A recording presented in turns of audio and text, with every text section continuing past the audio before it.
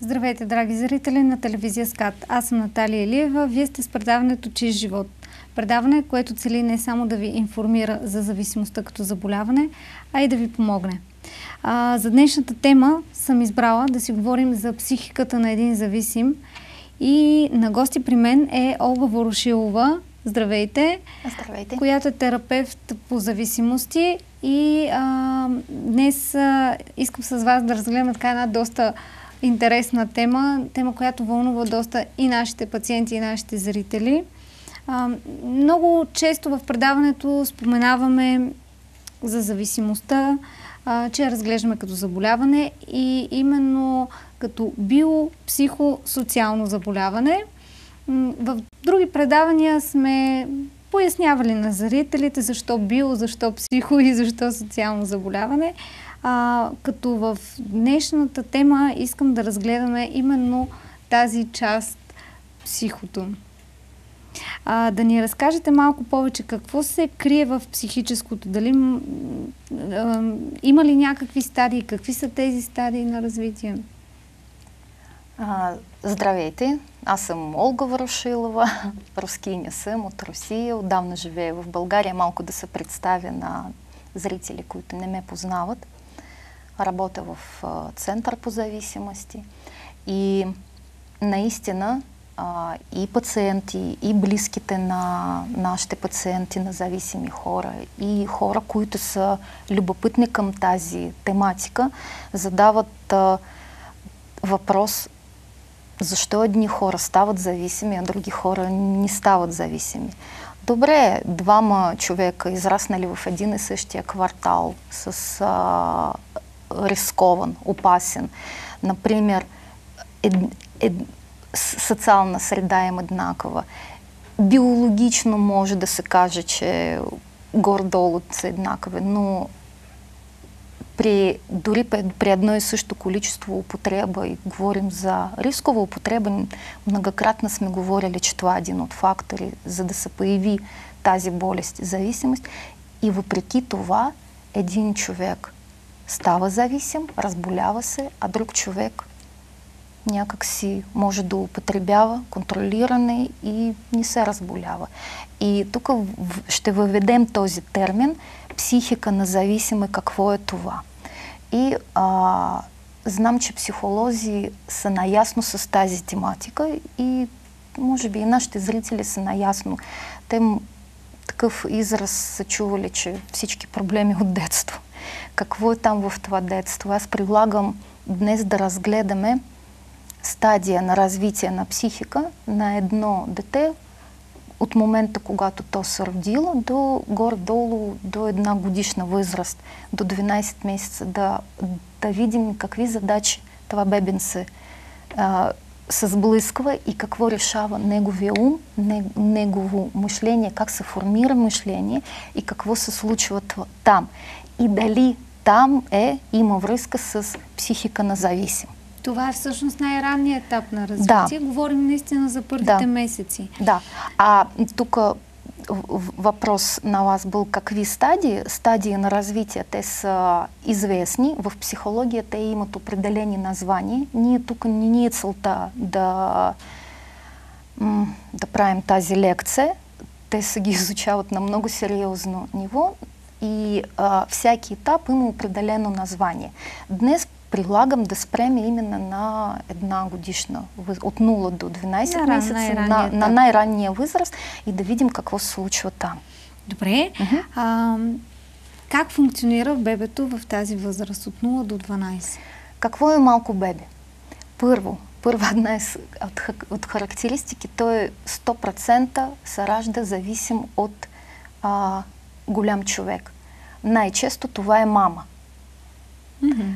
И редки случаи това е човек, който замества функции на мама. Но в повече случаев това е мама. Той е зависим от друг човек. Бебето, ако се роди и не дай Боже няма да се окаже човешки а, същество до него, а, негова психика няма да се развие по човешкия модел.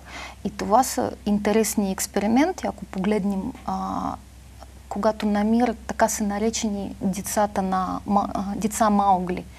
различни ситуации случват. А, интересно, ако ги наблюдаваме и ние, и, и ние го знаем, и психолози го знаят, че дете, ако възпитана а, при животни, обратния процес, той да стане човек, това не е реално. Човек, бебето, когато се ражда, той става човек само в контакт с човек.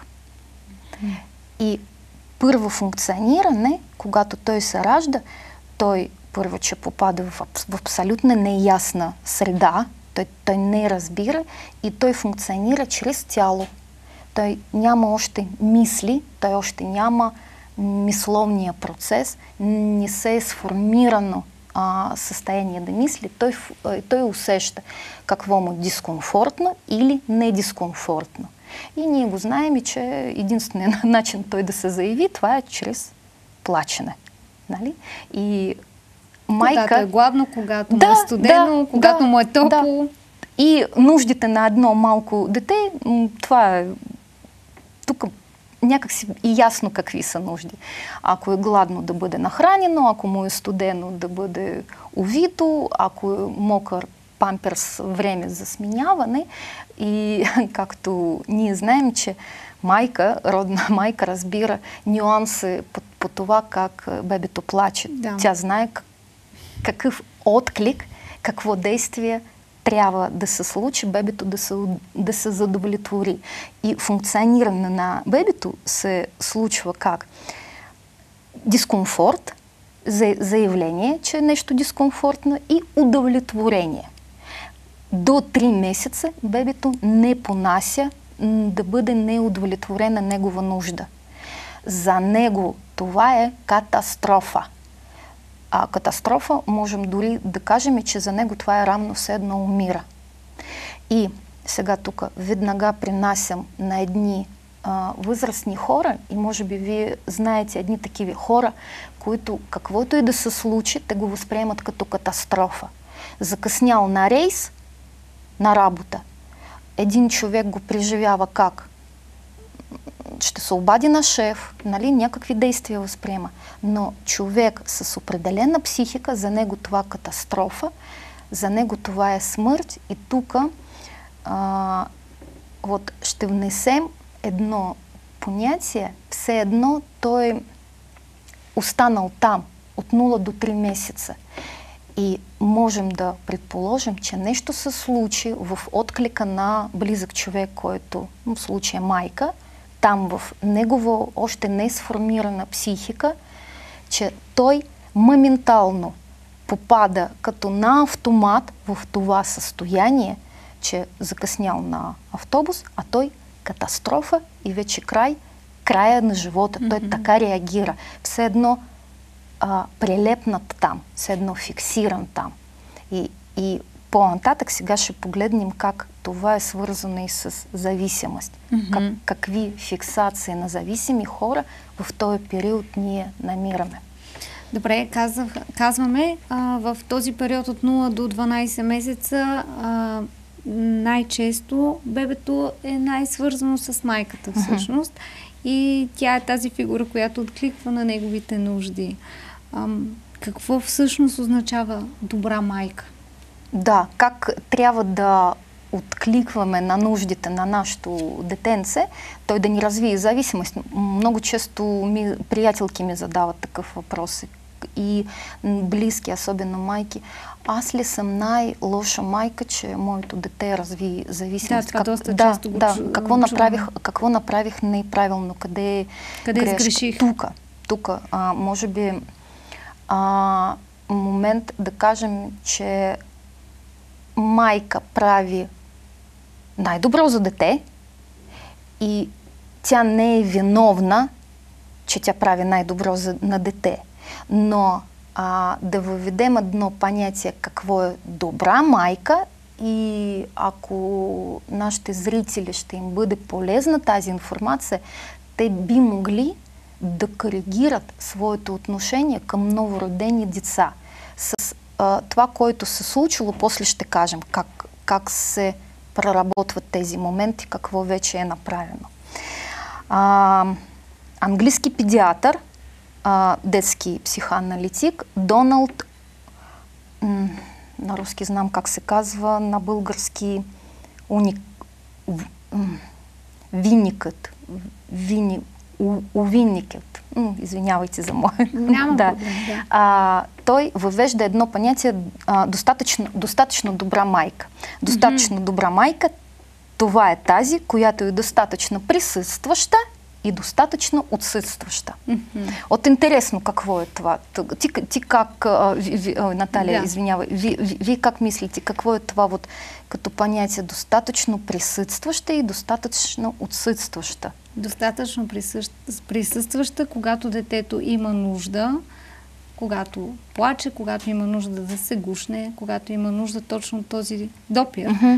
И достатъчно отсъщ... отсъстваща да не е постоянно на 100% Мгм. залепена с детето. Тоест м, да, да, да, да остави да. детето да открива света Вие през казахте неговите. по-добре, аз не бих казала толкова добре. Да, наистина, наистина е така. И а, наблюдаваме една връзка с тези супер тревожни майки, които за щало и нещало вече тичат да го нахранят, Или да аз, го аз се сещам за друг пример, когато а, детето си седи спокойно а, от тези играчки, които са над леглото, то се е загледало, интересно му е, защото в този Мгм. период всъщност детето по този начин открива света. Мгм. А, загледало се и майката просто отива и без абсолютно никаква причина го взима и го гушка и го носи на ръце в продължение на един час. И Да, всъщност вот. Супер, супер тревожна майка. Тя е Да. в, в своите тревоги, тя смята, че а, Това са нейните тревоги, не на Да, детето. нон-стоп трябва да бъде с дете и реално ни дава възможност на това състояние бебето да почувства, да се появи желание, да се появи желание и след това да дойде удовлетворение на това желание. Мгм. Той да, да изплакне. Аз на моето бебето ни давам да реве ти ни даваш да ревеш на твоето бебето и по такъв начин а, свиваш му развитие на психика.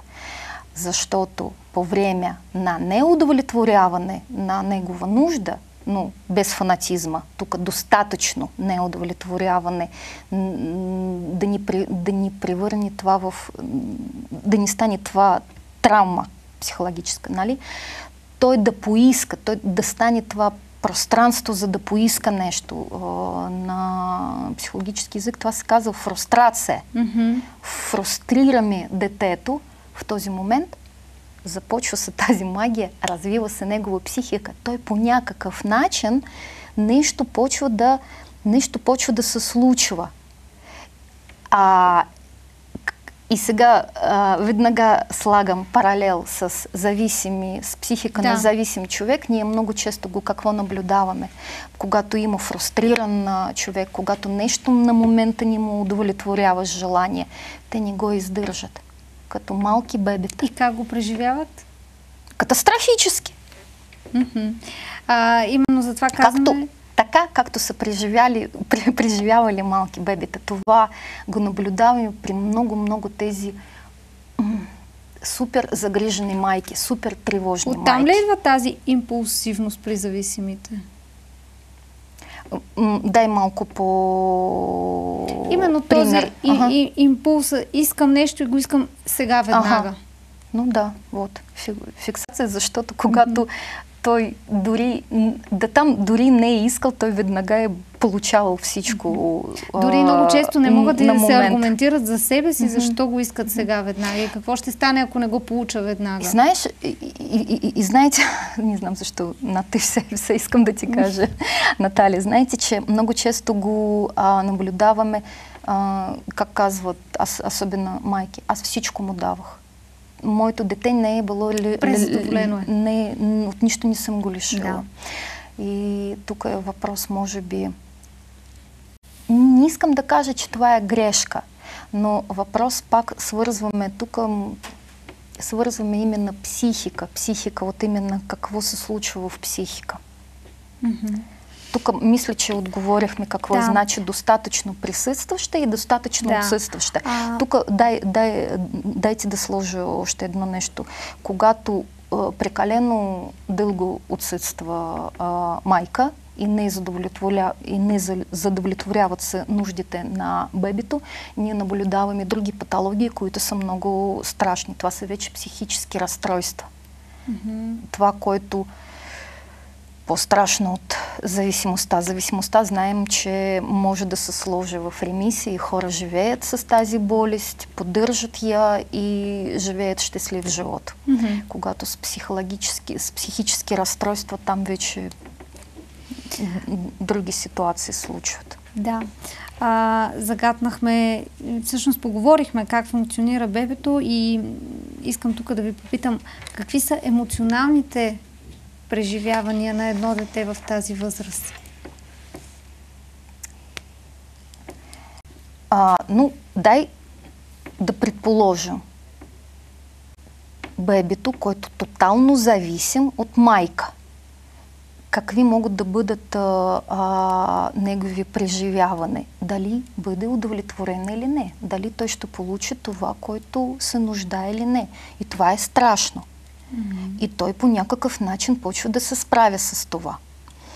От тук е, бих казала тотай, тотална зависимост. И когато а, малко дете не е удовлетворено и то продължително време, той попада в такова състояние, а, което ние го наричаме отчаяние.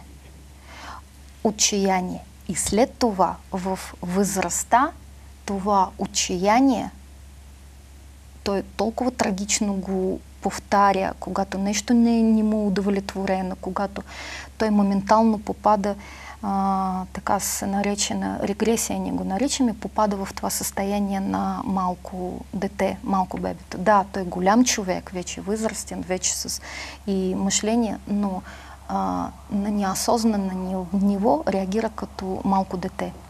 Mm-hmm. И всичко аз тук направих един а, конспект, за, защото тема наистина е много глобална. Ние сега правим м- като опитвам се една много сериозна тема и много мащабна, за да я предоставим в рамките на, на едно предаване. Затова аз реших да се подготвя.